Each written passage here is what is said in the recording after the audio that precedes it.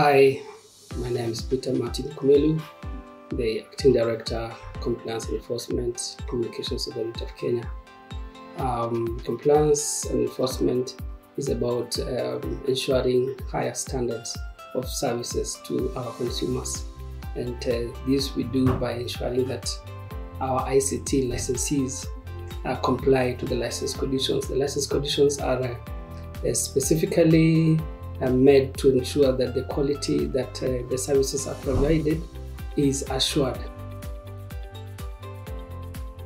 The key mandates of the authorities is to ensure that consumers get the highest quality of service.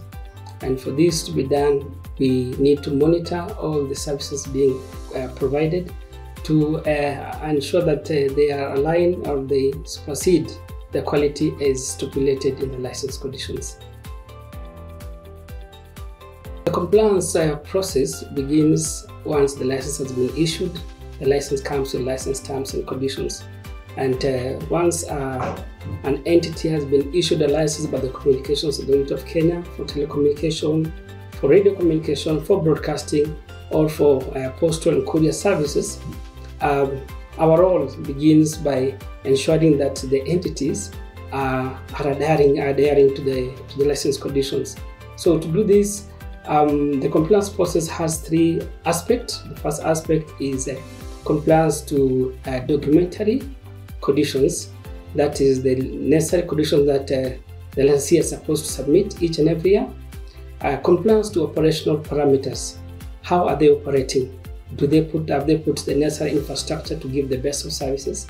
And compliance to financial obligations. The license comes with obligations for license fees and for USF uh, contributions. Uh, the licensee is supposed to one uh, submit documentary evidences that uh, pertains to tax compliance certificate, a certificate of CR12, sharing, sharing the shareholding, and the compliance returns form duly completed. They're also supposed to submit evidence that they've paid the necessary fees. They're supposed to submit evidence that they are operational and the operations that they're doing are complying to the set standards. To the licensees, if you don't comply, if you don't submit uh, the compliance returns, you are contravening the license and it may lead to the cancellation of your license. Now, to the consumers, when you deal with an ICT licensee who has not complied, the service provision is not assured. There's no assurance that that person has put the necessary infrastructure to be, give you the best of service.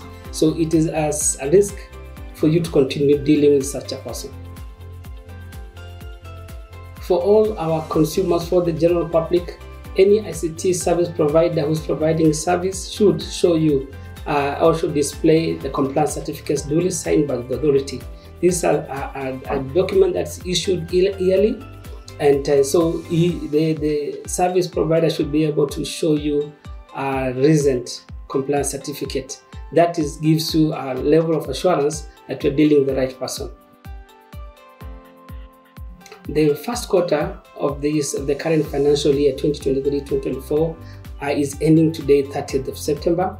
All the licenses have uh, a maximum of 15 days through uh, during which they are supposed to comply and submit their compliance returns. Uh, the compliance returns forms are on our website www.ca.go.ke. When you log there, you'll be able to see the appropriate compliance uh, return form for you. Kindly go there, download it, and complete and send it to us before the deadline.